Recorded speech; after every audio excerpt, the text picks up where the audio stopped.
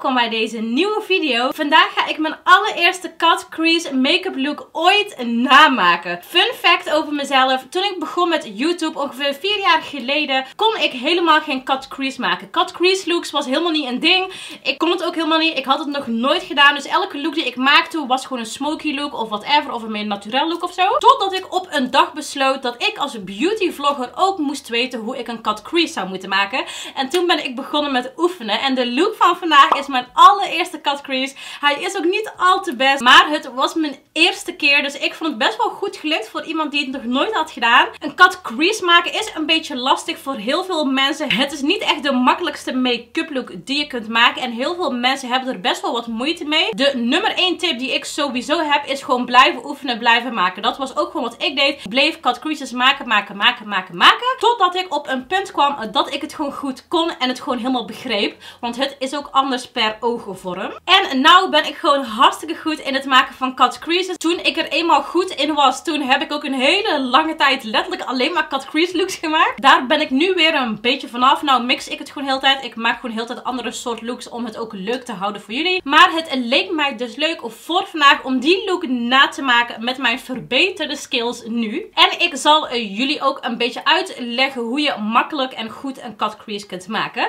Dus vind je het nu al leuk? Vergeet dan niet alvast te liken en te abonneren. Zo blijf je op de hoogte van mijn vier video's in de week. En dan gaan we snel beginnen met deze make-up look. Oké jongens, laten we beginnen. Ik ga even de look erbij halen. Deze look is echt zo slecht. Oké, in de look heb ik wel een Snapchat filter zoals je kunt zien. Maar we kunnen de look gewoon nog steeds goed zien. Het is een volledige cut crease look met een beetje bruine matte kleuren in mijn crease. En een roze glanzende kleur over mijn hele ooglid. En dan een zwarte winged eyeliner. Oh mijn god, die wenkbrauwen ook. Wat zijn het voor dunne, wenkbrauwen. Ik maakte mijn wenkjes altijd zo ontzettend dun. Ik weet niet waarom. En ik heb ook licht roze nude lip. Dus ik ga gewoon heel deze look vandaag namaken. Maar dan de verbeterde versie. Het enige wat ik al heb gedaan is mijn wenkjes en dagcreme. Voor de rest nog helemaal niks. Ik ga vandaag beginnen met mijn ogen. En het paletje die ik ga gebruiken is dit Revolution X DC palette. Dit is echt een super groot paletje. Het heeft oogschaduw, bronzers, blush, highlighter. Echt gewoon van alles. En deze heeft de perfecte kleuren voor de look van vandaag. Ik heb ook de hele Revolution X DC collectie getest in een video. Die staat al online op mijn kanaal. En dan zie je nog een andere look met dit paletje als je dat leuk vindt. Maar vandaag ga ik er dus deze roze cut crease look mee maken. Dus laten we snel inzoomen op de ogen. Ik ga beginnen met primen. En daarvoor gebruik ik mijn Revolution Ultimate Eye Base Oogschaduw Primer. En dit is in de kleur Light. Dit is echt een hele fijne oogschaduwprimer. Breng altijd iets van oogschaduwprimer of concealer of zo aan. Want dat maakt echt een verschil. Het gaat ervoor zorgen dat je gewoon een hele mooie egale basis hebt. En dat de kleuren wat heftiger en feller aanbrengen. En dat maakt echt een super groot verschil. Dat deed ik dus in die tijd volgens mij niet. Volgens mij had ik toen niks eronder gedaan. En ik zie ook op de foto dat de kleuren niet echt heel heftig zijn. Dus dat kan allemaal echt veel heftiger. Oké, ik zie op die foto dat ik bruine matte kleur heb aangebracht in mijn crease. Dus dat ga ik nou ook doen. Ik ga beginnen met de donkere bruine matte kleur hier. Die ga ik aanbrengen met deze kleine ronde kwast. En ik ga eerst beginnen met de shape. Ik ga eerst de shape maken, want dan weet ik straks een beetje wat ik moet volgen. Dus wat ik dan doe is dat ik de kleur er gewoon indruk. Ik begin zo hier in de binnenste ooghoek. En dan gewoon letterlijk drukken. De oogschaduw primer is nu ook nog een beetje plakkerig. En dan wordt de kleur wat heftiger. En als je een beetje moeite hebt met het weten wat voor vorm je moet maken. Ik volg gewoon mijn oogbal. Dus ik voel zo hier waar mijn oogbal zit. En dan ga ik er gewoon zo omheen. En dan waar het omlaag gaat, ga ik ook omlaag. En dan breng ik het vanaf daar weer zo omhoog, zeg maar. En breng het best wel hoog aan. Je mag echt best wel hoog werken, anders is straks alles veel te laag. Dus ik begin eerst met deze kleur. Het hoeft niet perfect, want we gaan straks toch nog de hele cut crease maken. Dit is gewoon nog een beetje een soort van grove schets. Het gaat dus ongeveer zo worden.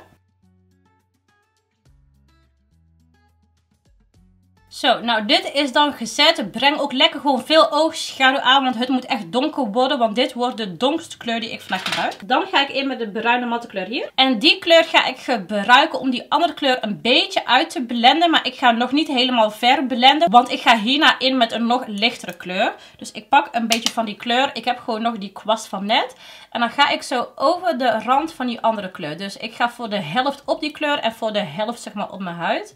En dan ga ik een beetje gewoon zo soortig van schetsen. Ga niet te ver naar buiten toe. Blijf echt een beetje op die lijn.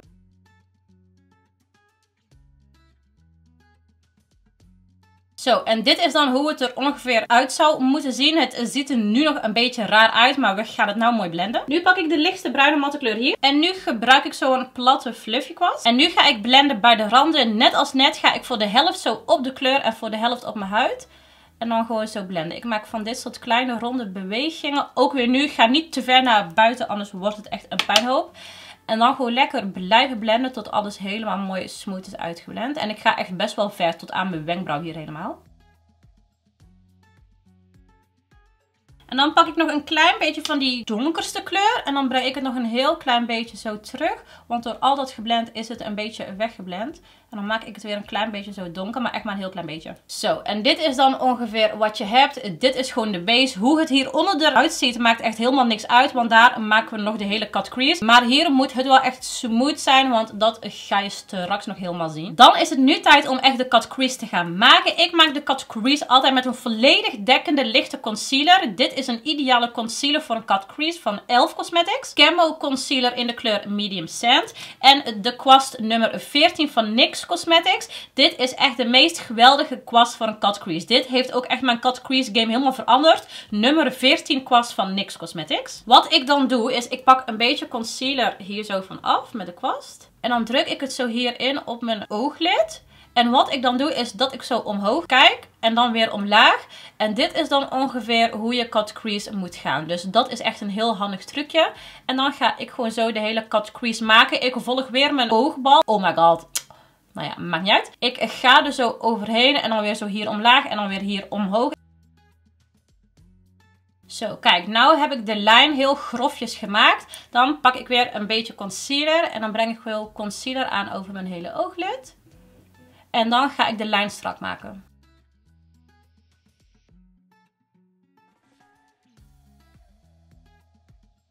Zo, beide cut creases zijn gemaakt. Je ziet op die foto van vroeger dat de cut crease echt super laag is. Echt veel te laag. En ik heb hem nou echt veel hoger gebracht. Alles zit echt veel hoger. Dus dat is echt wel belangrijk. Dan pak ik nou deze roze glanzende kleur hier. En die glanzende kleur ga ik aanbrengen over mijn hele cut crease. En ik maak mijn kwast nat met fixing spray, want dan wordt het wat heftiger.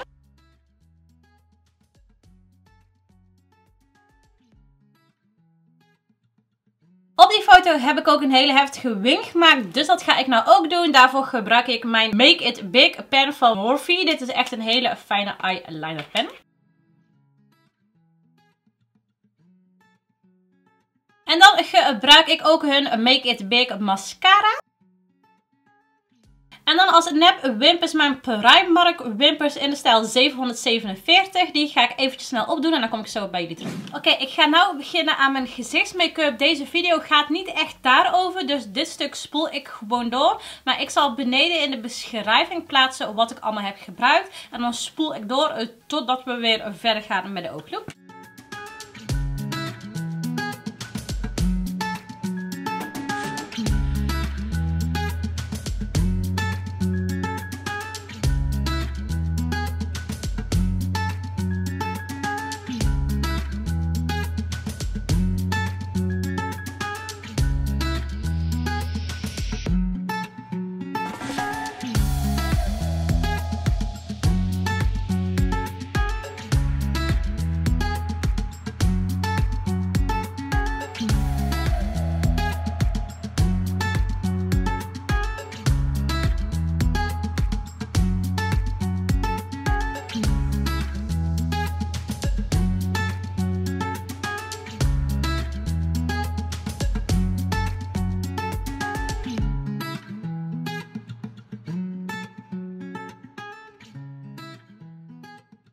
Oké, daar ben ik weer. Mijn hele gezichtsmake-up is gedaan. Ik ben super blij met hoe het eruit ziet. En nu gaan we even de ooglook afmaken. Ik ga alle drie de matte kleuren die ik hier heb gebruikt in mijn crease ook aanbrengen op mijn onderste wimperrand.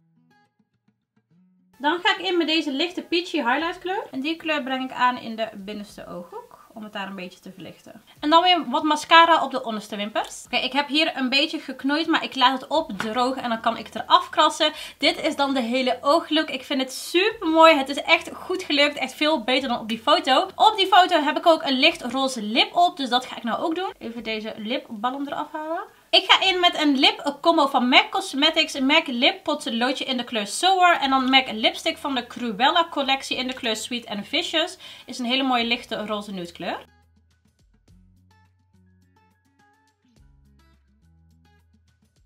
En dan als fixing spray gebruik ik mijn Hydrating Fixing Spray van Morphe. En dan zijn we klaar.